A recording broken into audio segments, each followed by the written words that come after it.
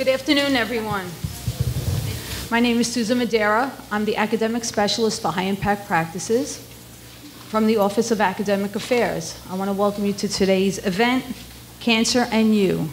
This is the 17th event held within a three-week period as part of the Common Read Initiative. Almost everyone knows someone who has been diagnosed with cancer. But do you really know what it is? Do you know how to prevent cancer? Are you familiar with the newest cancer treatments? I'm glad you're here today because we are here to learn about what causes cancer, the ways to protect yourself, and the novel medical advancements from both scientific and medical viewpoints. Today, our speakers are Dr. Peter Novick from the Biology and Geology Department, and Dr. Alana Coughlin from Branford, North Branford Pediatrics, Yale New Haven Children's Hospital, attending Yale School of Medicine and clinical instructor. Please join me in welcoming our speakers. Thank you.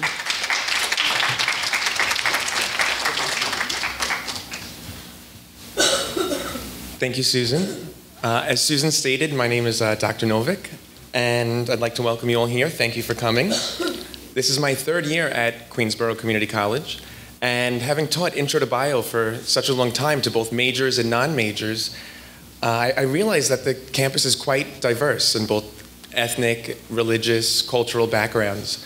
And with these different backgrounds come a lot of different beliefs and misconceptions when it comes to different topics. And today we're going to talk about some different beliefs and misconceptions of cancer. We're going to talk about what is cancer, what causes cancer, how do we treat cancer, and some ways that you can prevent it.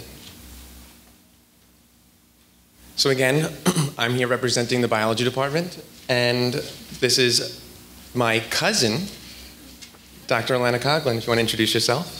Yes, thank you so much for having me. When Peter called a few months ago and said, Come on, we could work on this project, it, it was just very exciting to have the opportunity to come here today and, and uh, to work together.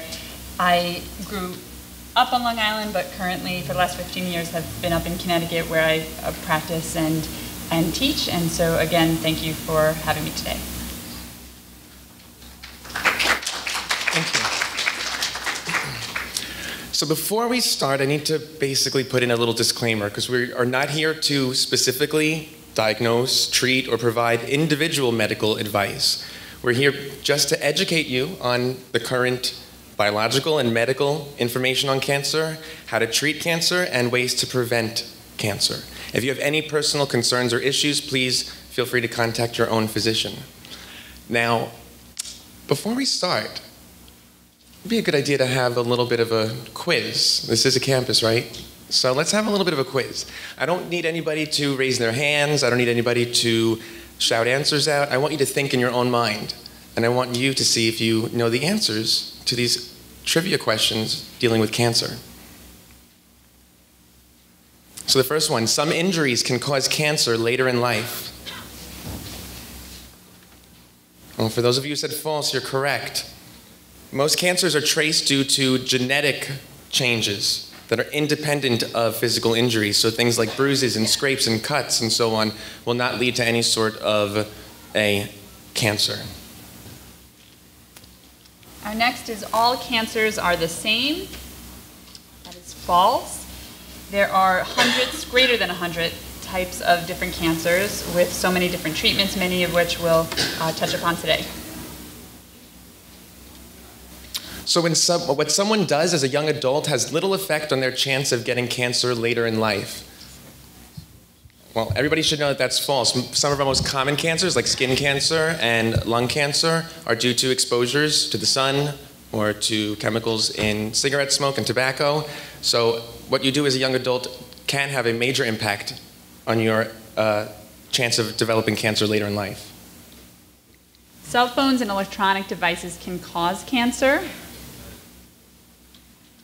This is false. Studies that correlate brain cancer and cell phone use are incredibly difficult to conduct, uh, but a Danish Cancer Society actually fairly recently uh, did study this and, and did not find any link between the two.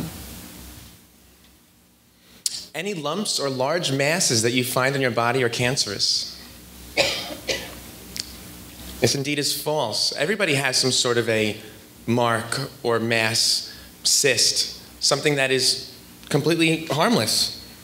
It could be a cyst that your body is just going to reabsorb. It might be something that is benign, which is essentially harmless. Um, it could be precancerous, or it could be cancerous. This is why screenings are important. But not every lump or mass that you find in your body are going to be cancerous. I, I have moles on my body. I prefer to call them beauty marks, but everybody has some sort of a mark or a blemish on their body. A positive attitude can cure you of cancer without any additional treatments.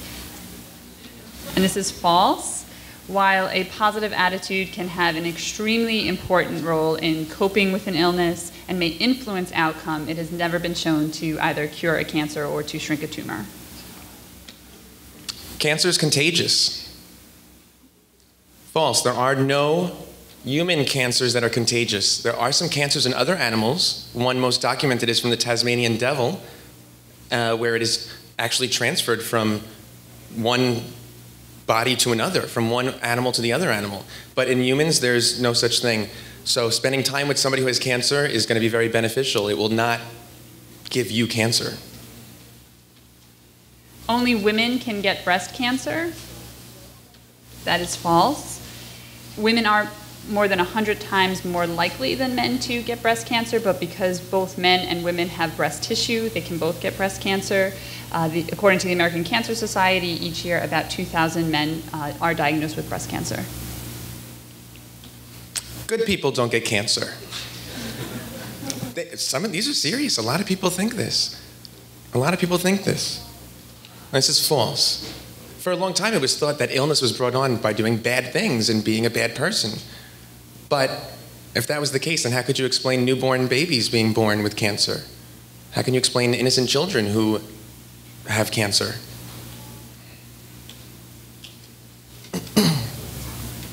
Oops. So I was talking to a coworker right here yesterday, Dr. Trujillo, and she said to me, This is such a great event that we're doing for students, learning about cancer, because this is not something that's going away. This is not something that is that, that, that is, is something that's going to go away right away, because this is still an issue today. In the United States, currently there are more than about, about 12 million men and women alive who have a history of cancer. Currently, the median age at diagnosis for cancer was 66, and the median age at death for cancer was 72. For 2012, it was estimated that the new cases of cancer was over 1.5 million, and the deaths were over 0.5 million. So, what is cancer? We keep saying this term cancer. Cancer was once a word that people were afraid to speak of in public, and people rarely admitted to being a cancer survivor. Speaking to some of my current students, they said that in their cultures, in certain cultures, you still don't talk about it. There's actually a, a TV show called The Big C, because historically people used to call it the Big C. This is um, what we call a superstitious euphemism. Superstitious is um, a belief due to ignorance, and a euphemism is a way to make something sound less harsh. So people would say the Big C because it sounded a lot better than saying cancer, and they thought if they said it, then they would get it themselves. So people rarely admitted to having cancer. So, cancer is in fact a term that we use for diseases in which abnormal cells, cells that have been mutated, will divide without any control mechanism and they can invade other healthy tissues. They can invade the healthy tissue in which they developed from, destroying that healthy tissue, or they can invade healthy tissues elsewhere in your body. These cancer cells can travel through your blood vessels in your circulatory system, or through your lymph system and transplant elsewhere, creating tumors in other parts of your body. This is called metastasis. You may have heard before, you know, oh, how is so and so doing? And they say, oh, well, their cancer spread. Well, that means that the cancer metastasized. It has now moved and formed a mass elsewhere in the body. And as Alana mentioned before, there are multiple types of cancer. There is no one type of cancer. There's greater than 100 of them. Each of these names are usually based on the type of tissue from which they develop. So now what is a tumor? Well, we need to first talk about two terms benign and malignant. You may have heard these terms before. You've probably heard of the terms benign and malignant. Well, a tumor that is benign is a growth that is not cancerous. It's generally localized and kept to one specific area. It has not spread. It hasn't invaded any healthy tissue. They're usually not harmful and they usually grow very slowly. Now, a benign tumor is generally very easily removed and usually doesn't come back. However, if the tumor is very large, it may cause pressure and it could pose an issue, even if it's benign. Well, the opposite of our benign tumors are our malignant tumors. Malignant tumors are the exact opposite. They can invade healthy tissue, they could spread to other parts of your body, they can break away and travel through your lymphatic and your blood vessels and cause masses elsewhere. Now, your body is made out of trillions and trillions of cells. cells need to constantly be replaced. I go like this I'm losing skin cells. We're losing billions of red blood cells every second, every minute, and so on. So we need to replace those that are lost. You cut yourself, cells are replaced that get damaged. When you're developing, when you're growing, more cells are formed. So this is normal cell division, where cells replace uh, those that are needed. One cell can simply divide into two cells, and those two cells can divide into four cells. This is called mitosis, when cells divide.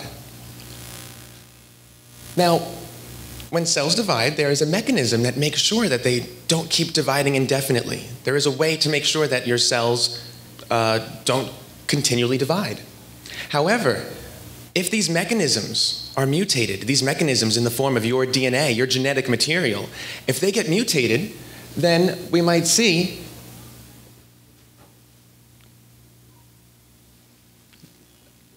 down here in the bottom picture that the cells have some uncontrolled growth. Now, usually when you have some sort of a mutation, cells have the ability to notice this, and they might undergo uh, a process called apoptosis, which is programmed cell death. A cell might realize something's wrong and something is out of hand, and the cell actually commits suicide so that it doesn't reproduce and make more cells that are similar to itself. However, if you have a certain number of mutations in certain genes that are important in regulating the cell cycle, then these cells may divide and grow uncontrollably here in our bottom picture. Now, there are three steps to the development of cancer. At the top, we see we have a normal cell. It's not working so great. Our normal cell is just like your regular average body cell. However, as your cells get exposed to certain chemicals or radiation or viruses and so on, it may damage your DNA. Damaging your DNA can cause mutations. This is called the initiation phase.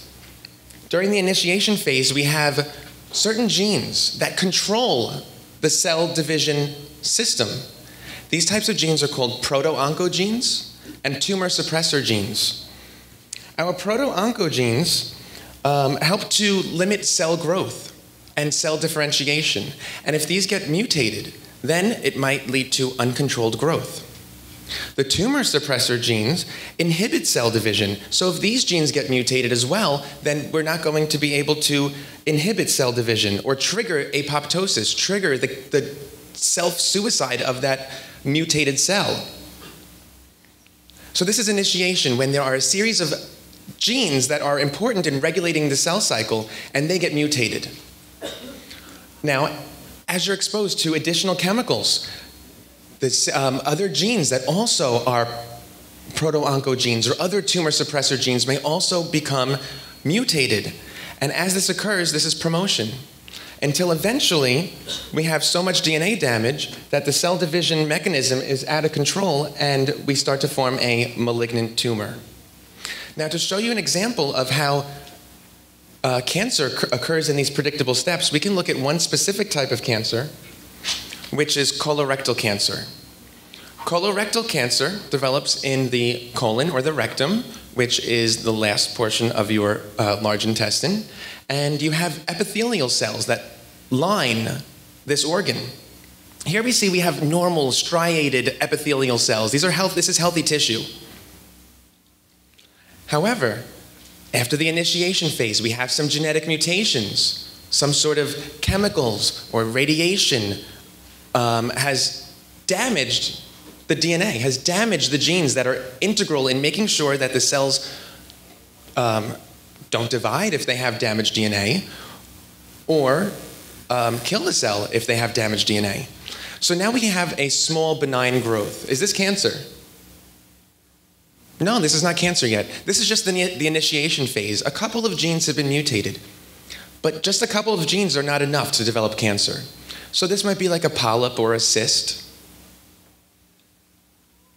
Then, as additional mutations are acquired, this now is the um, progression phase. Phase, and I'm sorry, the promotion phase, and we start to have a larger growth. But this larger growth is this cancer? No, it's still not cancer. This is a benign growth. It's still localized. Notice that it has a specific shape to it. It's like a polyp or a cyst. However, once it just gets right over that edge and we have just the right number of mutations that are going to be in these proto-oncogenes and these tumor suppressor, suppressor genes, which help to make sure that these cells don't divide indefinitely, we can then develop a malignant tumor.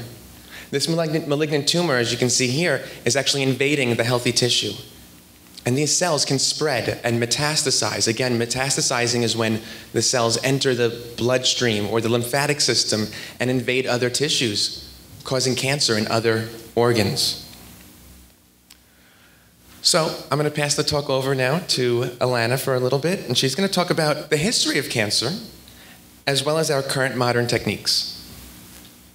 Great, thank you. And, and first, before moving on from some of the, the issues we just discussed, cancers are also divided into pretty broad cancer categories, and cancers throughout the body tend to be named and grouped based on the type of tissue they involve, um, as well as where it occurs and the type of cells that, that are in those tissues. So general names include the carcinomas. These are the cancers of the skin and the internal organ linings. Uh, the, all of these cells secrete matter.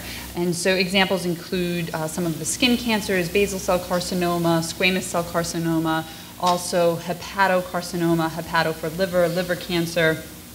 Another broad topic are the sarcomas. These type of cancers involve the body's connective tissue, the bone, the fat, the muscle. Uh, one of the bone cancers, osteo, osteo for bone, osteosarcoma is one type in this category. Next, we have the leukemias and lymphomas. Uh, the leukemias are those cancers coming from blood forming tissue, the blood cells that are formed in the bone marrow and then, and then migrate around the body. Uh, the lymphomas are from cells of the immune system, very commonly arising in the lymph nodes. There are some cancers too that seem to to bridge both of these two groups. Uh, the myelomas, specifically multiple myeloma, is a cancer that involves immune cells, plasma cells, that are formed in the bone marrow. So, so there can be overlap. Another broad cancer category, though, includes the CNS cancers, cancers of the central nervous system. These are all nervous system cancers, uh, different cancer cells, and they have names like astrocytoma and glioblastoma multiforme, but they are all they all derive from from nerve tissue. So we've talked about the what cancer is, and it'll now be good to just think about when we first really started to, to learn about cancer. And cancer has certainly been around ever since humans have, but we've really only understood what it, what it, what it is for, for the last several hundred years. Uh, starting in the 1600s, in the 17th century, the first autopsies were done. So this was the first time that cancers were actually seen. They weren't well understood, uh, but, but they were seen. 100 years later, in the 1700s, uh, Giovanni Morgagni in, in, Italy was the first person to actually take autopsies a step further and really study the tissues that were there for the first time, linking the diseased tissue with the illnesses that, that people had, had, had died from. At about the same time, a Scottish surgeon named John Hunter uh, was the first to suggest that, that some cancers might be cured by surgery. Now, surgery in the 1700s was not something that anyone would want anything to do with, you know, between blood loss and infection, and we're going to talk later about the great strides that have, have occurred. Uh, but what's so interesting is that even in this rudimentary you know, surgery time, the thought was that if you could remove a cancer before it invaded tissue, and the term that was used actually was while it is still movable, then the person could be cured. And so I, I think that was really the first time where the idea that cancers could be staged, that, that the whole idea of metastasis was very important, and that if a cancer was treated early, that the, the outcome could be so much better. In the 1800s, surgery is able to take a great step forward with the growth of anesthesia. This, during this time, uh, some of, of the classic cancer operations were developed and occurred, and at the same time, the invention of modern microscopes enabled for, for the tissues that were removed to actually be studied um, and, and, and understood so much, so much more. So to take us now into the modern era, across you know, the last hundred years, we really should think about the the etiologies of, of cancer. So, etiology is a fancy word for cause of disease. So, in the 20th and 21st century, we have developed great understanding in, in where cancers come from. And as Peter mentioned, some cancers come from our genes, and, and, our, and our understanding of the genetic links with cancer really progressed and, and, in some ways started in the 1950s and 60s uh, with the work of doctors Watson and Crick, who discovered the exact chemical structure of DNA. So we know that DNA is in every cell of our body, our genes are within that DNA.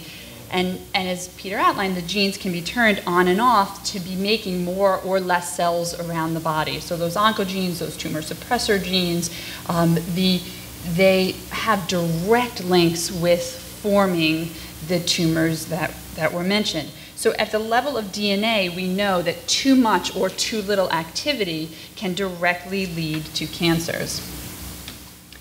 Now, this idea of too much or too little can really be very true at the cellular level as well. And in recent decades, cancer biologists and immunologists have learned that too much or too little inflammation in the body can also be very harmful. So when I mention the word inflammation, we can think of it as you know, a local physical condition with swelling and discomfort. So if you sprain your ankle, your ankle's going to swell up, it, it's going to be painful, but that swelling can be a good thing. It's a blessing to have inflammation in your body because the cells that are responding to that injury are there to reduce the harm, to get rid of the damaged cells, and to help produce healing. Um, similarly, for anyone ever diagnosed with strep throat, you know that the pain you're having, the swelling that you're having in your throat is a nuisance at the time, but it actually is a sign that your body's inflammation system, your immune system is working. So inflammatory cells are created by bone marrow in the bone marrow and in the lymph nodes. These are B, B cells, T cells. They travel around the body. I like to think of them as like a Roomba vacuum, you know, sort of moving around a room and, and somehow knowing what to pick up and, and, and by the end of the day finishes the whole room. And so these cells are actually just, just moving around trying to fix what is wrong in the body. And so we know, though, that when some of these inflammatory cells encounter precancerous cells or malignant tissue, they can be influenced by those cells, hijacked, sort of speak, and then send out signals inappropriately that can lead to cancer growth. And so that's one way where the body's own immune system can actually contribute to cancer growth. Another way that inflammation can be related to cancer is, is just the nature of inflammatory disorders themselves. And so there are there's a very long list of inflammatory disorders. Similarly, as, as there are so many different cancers, um, there essentially the many types of inflammatory disorders that exist are, are very much linked with the idea of the body's inflama- inflammatory system, the body's immune system, making too much inflammation or inflammation in the wrong way. So one example is ulcerative colitis, one of the inflammatory bowel disorders. Disorders. In that disorder, the inflammatory cells that are produced can actually become cancerous. And so there is, for some patients with ulcerative colitis, they are more likely to develop colon cancer. The mechanism is, is somewhat similar to the idea of a, of a chocolate factory. You know, if you're, and I'll get back to the chocolate factory in a sec, but if your body is making thousands of cells, and it suddenly, it's supposed to make a thousand, but instead it starts making millions, well then there, there's a higher likelihood for those increased number of cells to have more mutations. You know, if you were just making a small amount, maybe there would be just a couple mutations. So the chocolate factory analogy is just that, you know, if a chocolate factory makes, you know, a thousand chocolates in an hour, but maybe one or two might have a nick or a blemish if the chocolate factory is making 20,000 an hour, you're going to have that many more. And so, so the, the thought is that there are inflammatory disorders that, that, that again, not all, but here and there can be linked with, with certain um, types of cancer. Now, I, I spent a, a, fair amount of time on inflammation because when we talk about treatment in a few minutes, it's just a fascinating somewhat newer type of treatment because just as the body's immune system can contribute to cancer, a very hot topic in cancer treatment is to use the body's immune system to actually fight cancer. And so we'll get to that in a, in a couple minutes.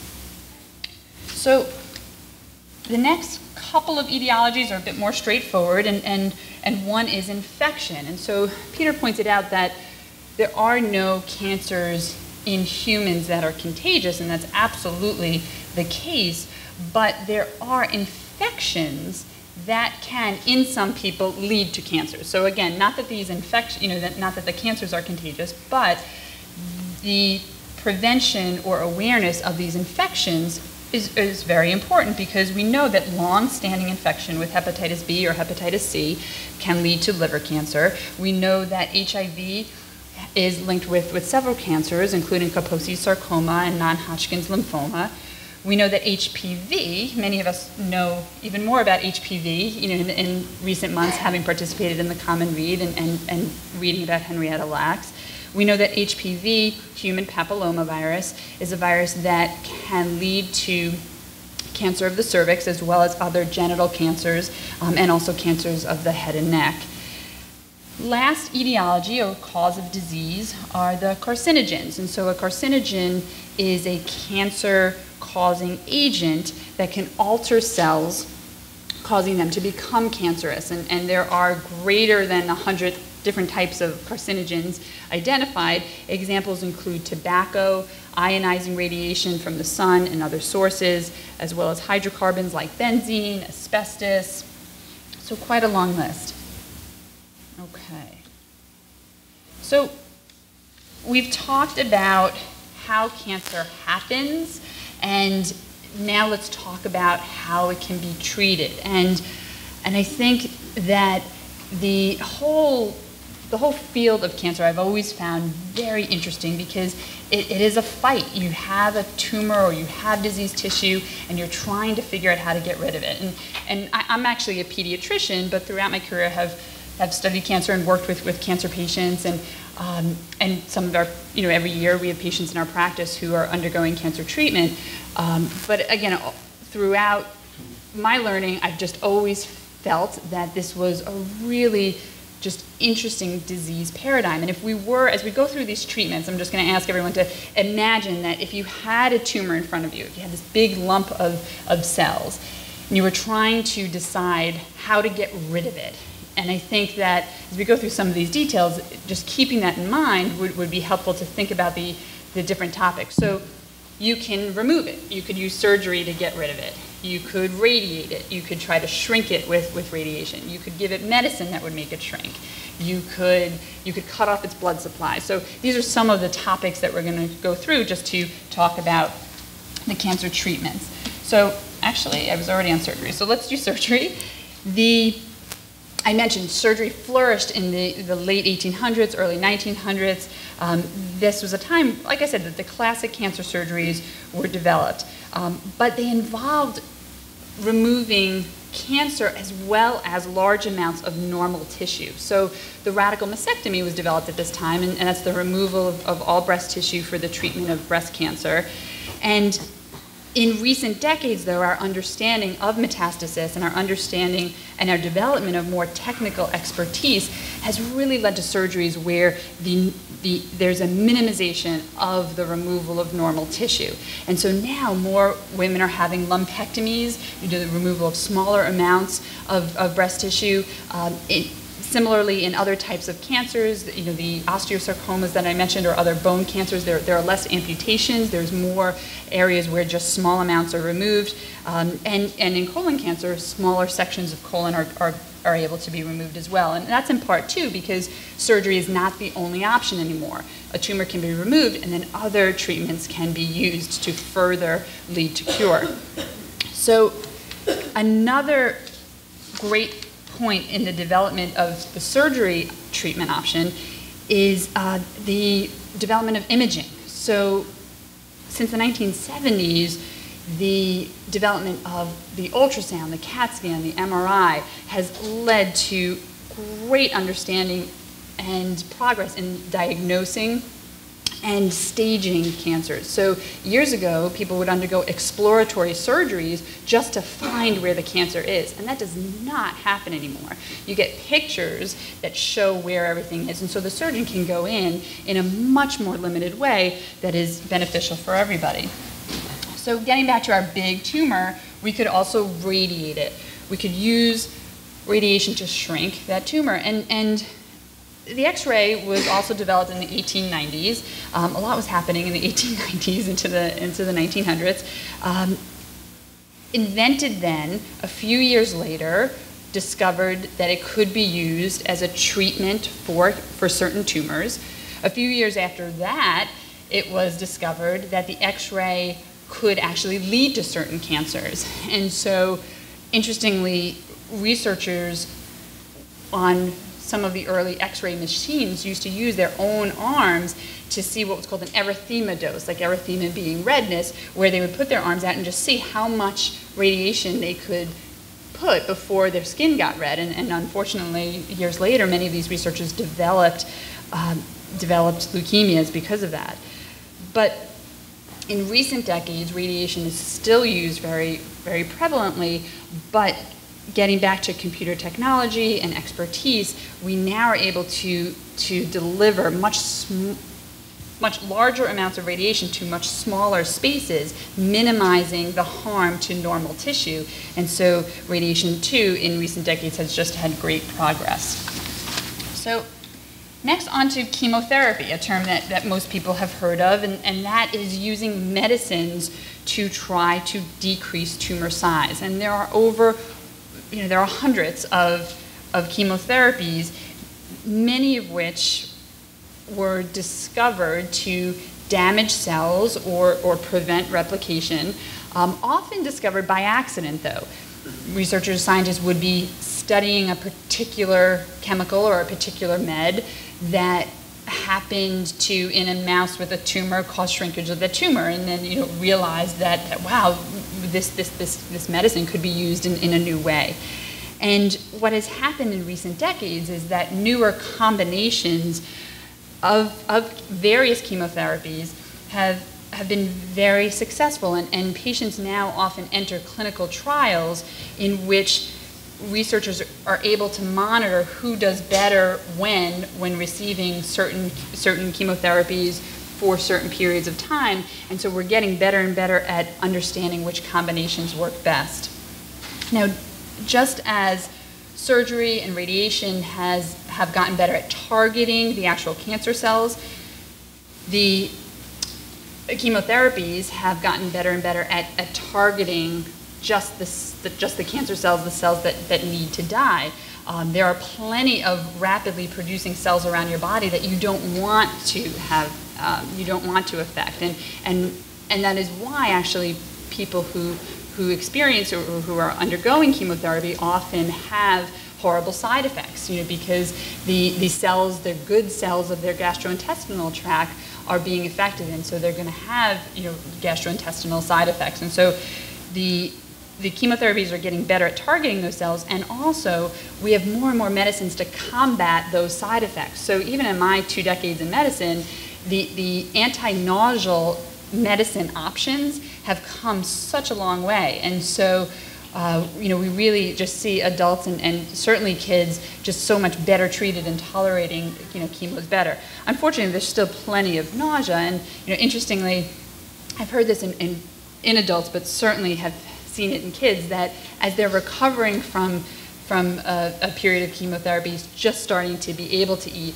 there's one food that most kids will say they can eat, and they are always going to try to pick it up, and it's McDonald's French fries. Mm-hmm. And it's just amazing that like kid after kid, like that's what they want. And, and where I am in, in Connecticut, similar to Long Island, where four, you know the LIE runs across the middle of Long Island, 95 runs across the bottom of Connecticut, and, and Yale Children's Hospital is right in the middle. And so we have some kids going up the highway, you know, to get home, and some kids going down the highway to get home, and there's a McDonald's on both, and they're, they're always stopping to get their French fries for the, for the way home.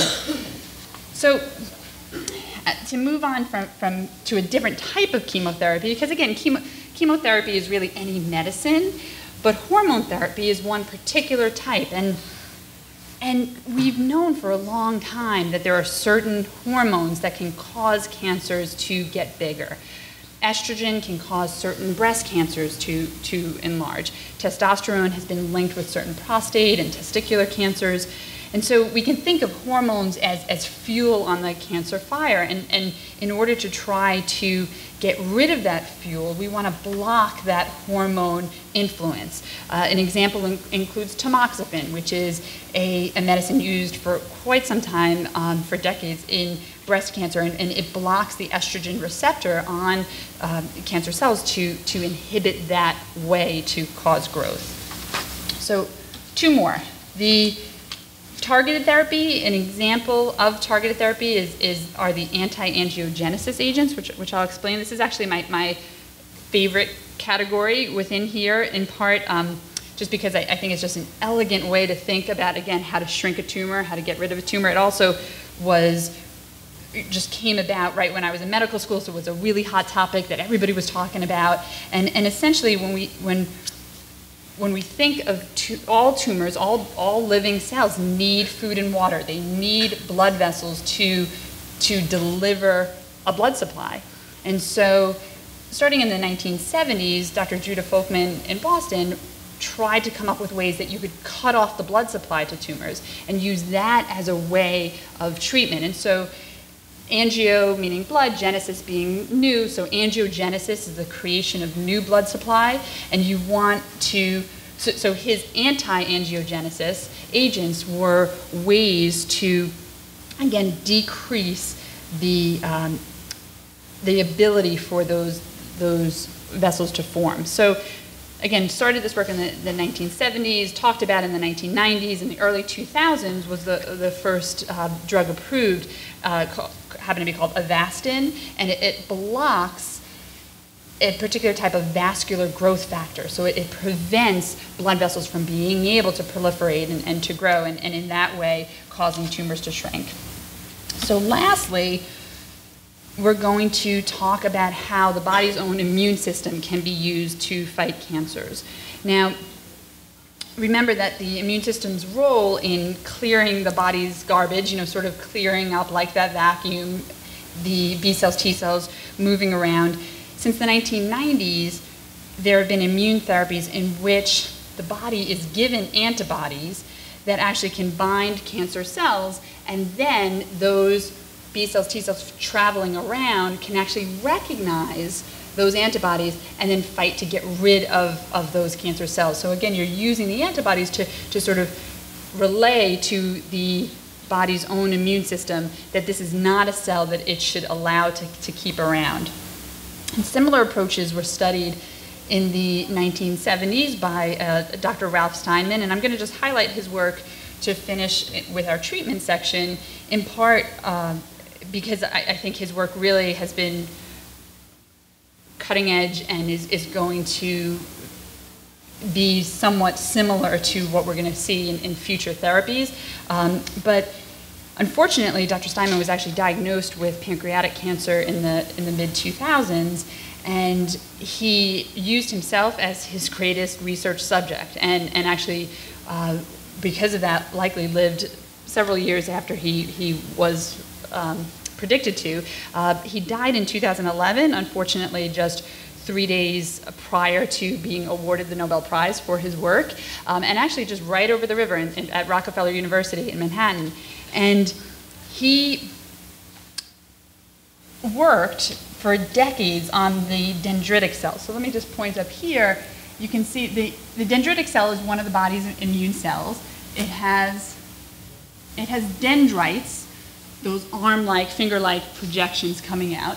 So the one idea behind part of his work is that if you were to give someone cancer proteins, specific proteins based on the type of cancer that they have, these cancer proteins could be picked up by the dendritic cells. Let's go down to two there, where you see your body's own T cell could actually come, recognize, be sensitized, be aware of that protein, and then as it moves around the body, if it encounters a true cancer cell, it's primed to recognize it and to destroy that cell. So again, this is sort of a just a, a cartoon example of how you can actually use the body's own immune system to, to fight cancer. So we've gone through now what cancer is, we've talked about how it happens, we've talked about how it can be treated. We're now going to talk about how we can lower uh, the risk of individuals getting cancer. So there are many ways that you can reduce your risk to developing cancer, and one would be no tobacco. Uh, tobacco contains a lot of different carcinogens, which can uh, increase your risk of developing cancer.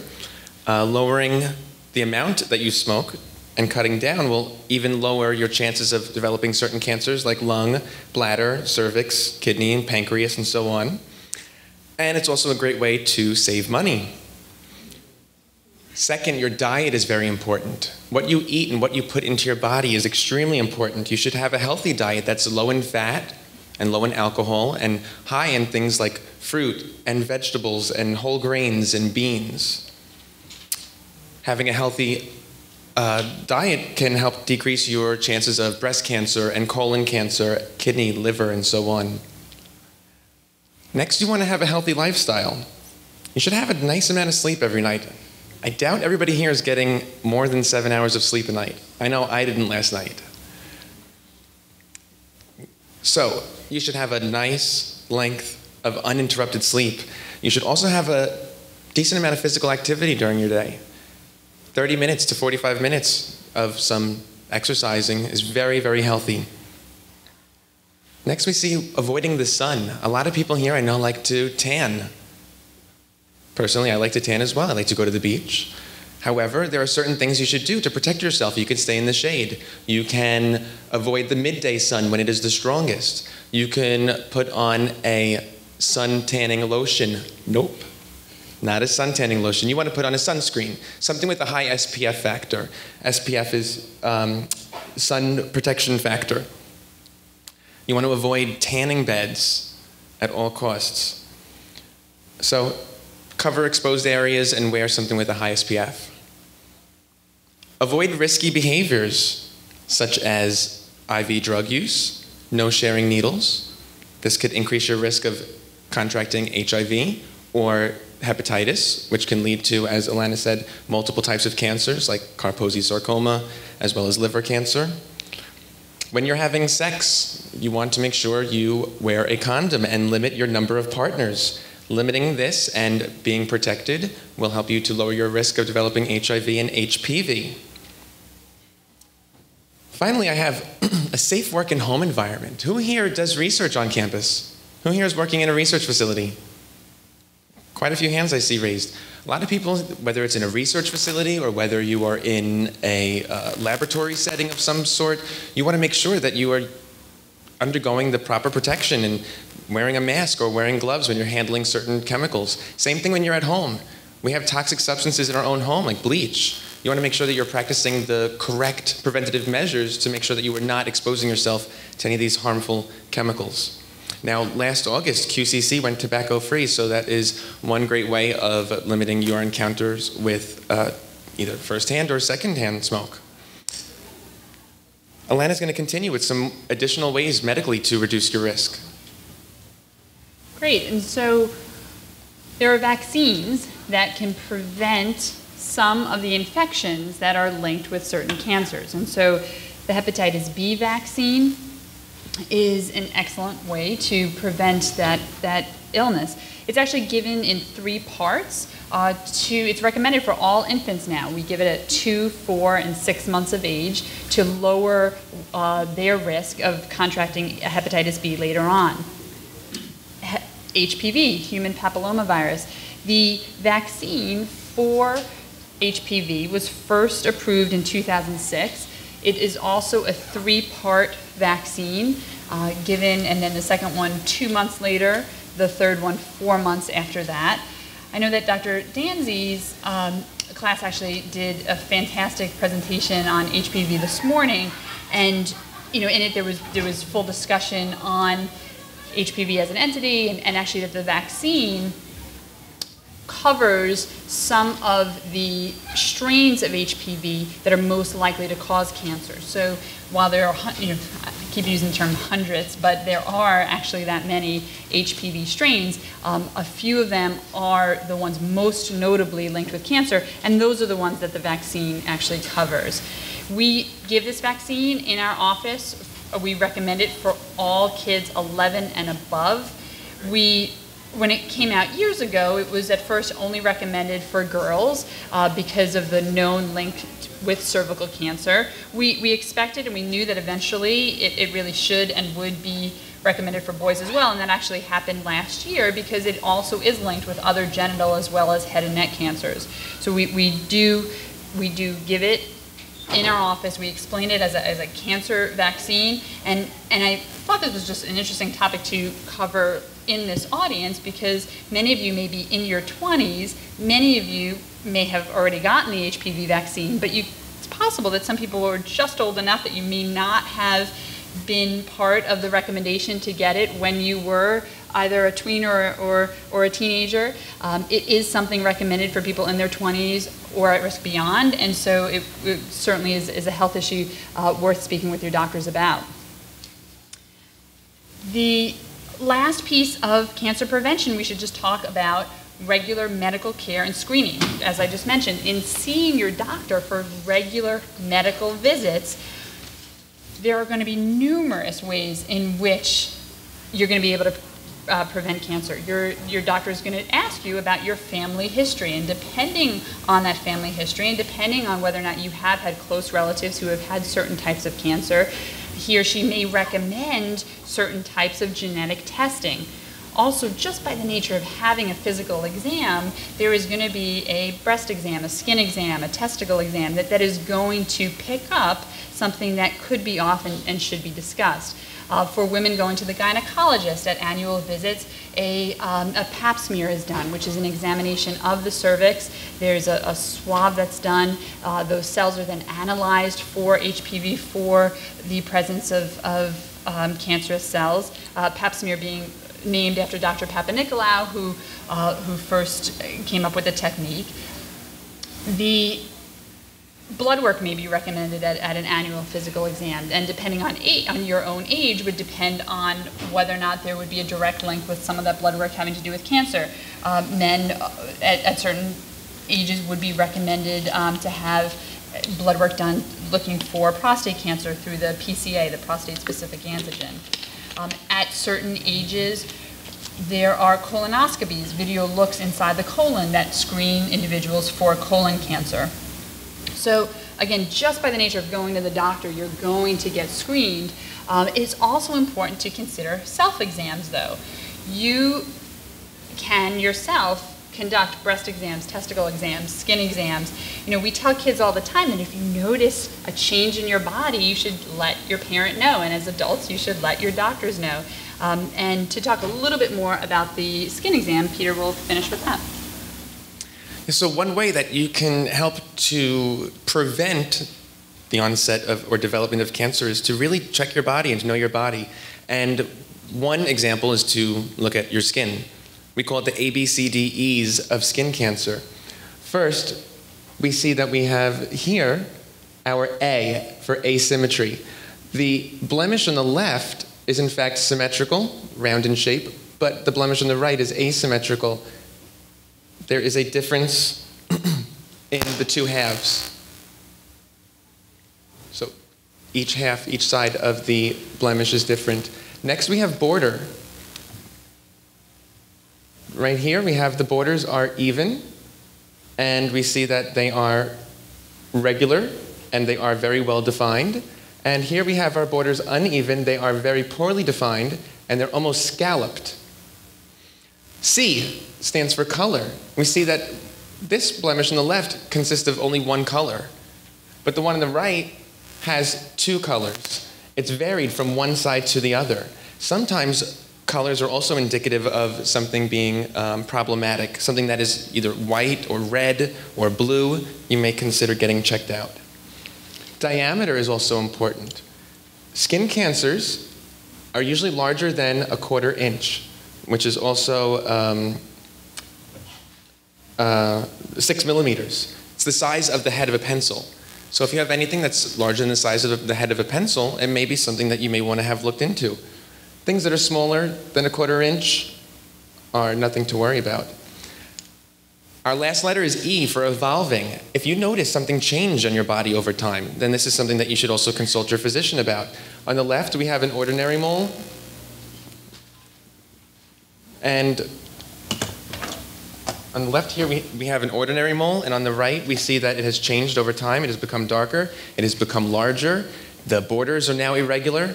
So these are things that you need to, uh, to take precaution of to make sure that you are uh, preventing the onset of skin cancer. Now, a lot of this was heavy, I understand, talking about what, how cancer develops, what is cancer, how do we treat cancer, and so on. But there is good news. There is increased cancer survivorship, meaning that more people are surviving, more people are beating being diagnosed with cancer. This is due to the growth in our knowledge of cancer biology. Because we have so much research conducted, not just here, but across the world, we have a lot of progress in early detection, finding that somebody has cancer before it has progressed so far that it has spread throughout the body. The advancements in treatment that Alana has presented to you as well as cancer prevention. We have learned ways to lower your risk of developing cancer. Now, compared to a few decades ago, where the prognosis for people facing cancer was um, pretty much not very favorable, now there is some good news. Looking at the 1970s, we see that about one of two people that were diagnosed with cancer survived at least five years. Now, that number is much better. More than two of three will survive that long. The overall rate of diagnosis is also increasing, as well as the amount of deaths. So, less people are being diagnosed with cancer. This is most likely due to the fact that we have identified these carcinogens, which are these chemicals that are causing the development of cancer. And since less people are being diagnosed, less people are therefore dying. And with these increased treatments, less people are going to be dying from cancer. Last year alone, the American Cancer Society funded $66 million in cancer treatment research and more than 77 million in cancer control, survivorship, and outcomes research. So, through donations, through research, we are able to discover new ways to prevent, treat, and prolong the lives of people with cancer. So I'd love to personally thank Queensborough Community College, especially in the back, Susan Madera. Thank you. Susan is extremely organized and has done an incredible job selecting a great book for the Common Read For those of you here who have not read The Immortal Life of Henrietta Lacks, I highly encourage you to read it. the author, Rebecca Skloot, for being a very determined, uh, what's the word? Persistent. Uh, yeah, persistent, um, uh, tenacious. Yeah, keep going, Susan. There you go. Um, hardworking journalist to really fight and find out all the information behind Henrietta. Thank you to everybody who he, uh, was able to attend today, and a special thanks to my cousin Alana, who took time out of her very busy life, came down from Connecticut in the snow to come and spend some time and talk with you guys. If anybody has any questions, uh, we have a couple minutes.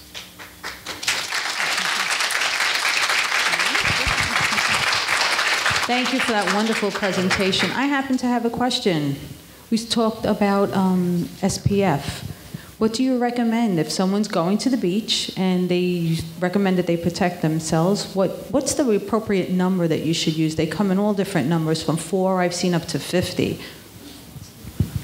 Yes, and I, I can give a gut impression answer to that, not necessarily based on you know, possibly the latest data, but you know, the general, at least a few years ago when, when I remember discussing this with some of my colleagues, there was some literature suggesting that much over 35 or 40 is probably not going to make a difference, but that you should at least be applying SPF of 30 or higher. And again, that, that's sort of my gut impression of, of that question, but the uh, at least 30. You know, the, the SPF 8 is based, you know, is, is one step up from a tanning oil, and so, um, so I, I, would say if, if I had to say one number, I would say 30 or above, and along the lines of, of what Peter was mentioning about the, the different types of, of moles, you know, moles can appear throughout one's life, and that you know, it's interesting that, that we see kids in the office come in in August and the parents will point out, well, this one's new, this one's new, this one's new, and, and they get them from being in the sun, you know, all summer. And uh, interestingly, too, apparently the the typical age at which you can stop seeing moles appear is 40, and I'm turning 40 this year, and I noticed a new one the other day, and I thought, oh, is this going to be my last one? Or, um, but I do actually, I've, heard people say that they get them, you know, all the time, where they start getting aging spots instead of mold. But the bottom line is, is that the moles of concern, as Peter mentioned, can come in a variety of different ways, there, and, and anything, regardless of size or shape, if it doesn't look like others that you similarly have, or if it has changed, um, you know, any mole can be a problem, but most are not. Thank you. Does anyone else have questions? I do in the back. I can always walk over to her.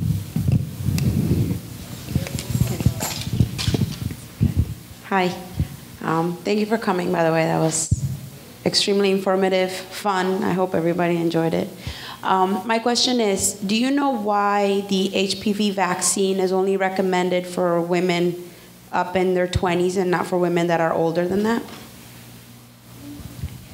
I actually asked Alana that yesterday. I said, uh, I never received the HPV vaccine. Is this something that I should be looking into? Not just for women, but for men now as well, and I do. And I don't have a good answer for that. I do have an answer for that, but unfortunately, it is based on insurance coverage and monetary payment. It's a fairly expensive vaccine, and so insurance companies cover it for young males and females into, I believe, up until the age of about 26. Um, the thought being that there are many ways to get HPV, but it's considered a sexually transmitted disease and the thought being that as people get older, um, in their 30s, 40s, 50s, they may be less likely to have multiple partners and may be less likely to contract HPV. That uh, being said, that that is a ridiculous reason not to get a vaccine if you may be um, at risk for the issue.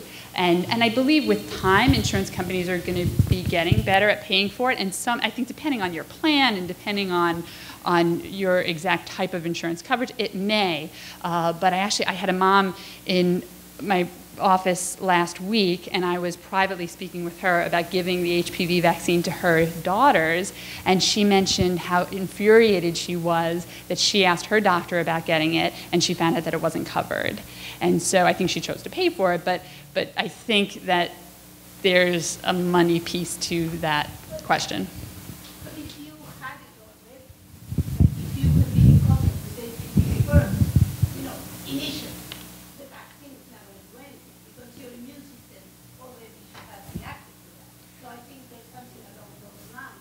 with the- I, I think that's a good point, but the serotypes is, Now, just in case everybody didn't hear, Monica said if you've already been in contact with HPV, that receiving the vaccine will be pointless.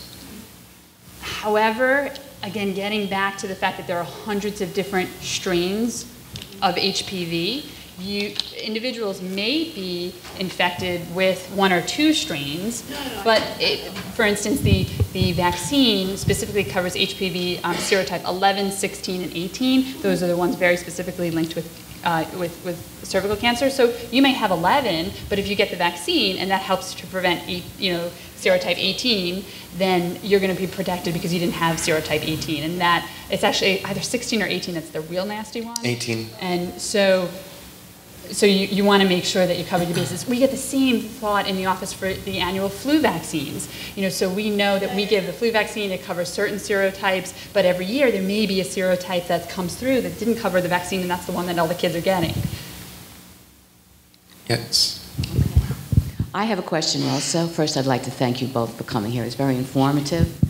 Um, usually, the guidelines, I believe, for the from the American Cancer Association say that a woman should get her first mammo at 40. Since a lot of women are being diagnosed prior to 40, are there guidelines going to change, or are there certain recommendations that women should know about before they reach that age? Sure. And in the 1990s, the recommendation was definitely at 40. And that's what I learned in medical school. And, and in the past decade, though, I believe that it, I believe that it may now be 35. Um, the, I think another very relevant point, though, is that gynecologists for any women in their 20s and 30s will ask them about their family history because any woman with a first degree relative, um, a, a- a parent or a sister should absolutely get a mammogram. I believe the general rule is around the time that that, or, or five, five to 10 years before that woman was diagnosed. And so I actually have a couple friends who have had mammograms in their 20s based on those recommendations. And, and there, there are reasons to bring it up for other reasons. Um, you know, when I was 35, not yet with kids, I said to my gynecologist, well, what if I'm breastfeeding in five years? And they said, and because the, the mammogram, you know, like looking at breast tissue then would not be as, as, as accurate. And so they said, yeah, why don't we, you know, why, why don't we do it early? You know, and, and so that was uh, just a thought that you want to, and again, that was like a ridiculous doctor question of, of you know, thinking ahead. But um, but the thought was is that it can be individualized. I think that to answer your question, the the age is coming lower. But on the other hand, there's a big question in the scientific and the medical community about the value, the real value of these very often mammography. It's, it's out there and the results are not particularly clear about the real advantage of mammogram.